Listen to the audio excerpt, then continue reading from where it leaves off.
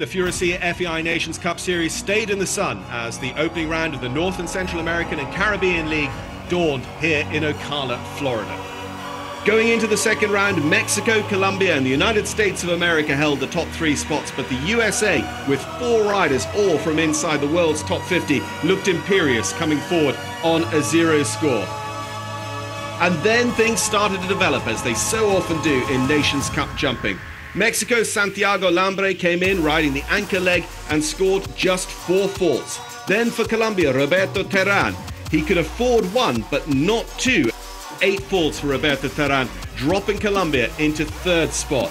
The United States of America then pinned all their hopes onto Beezie Madden. She had two fences in hand with her upcoming horse Breitling LS, and she turned in an equitation round just over the time allowed for one fault, but it was enough. The United States of America winning convincingly on 13 faults on home soil and equaling Canada now with six wins at the Florida North American Nations Cup.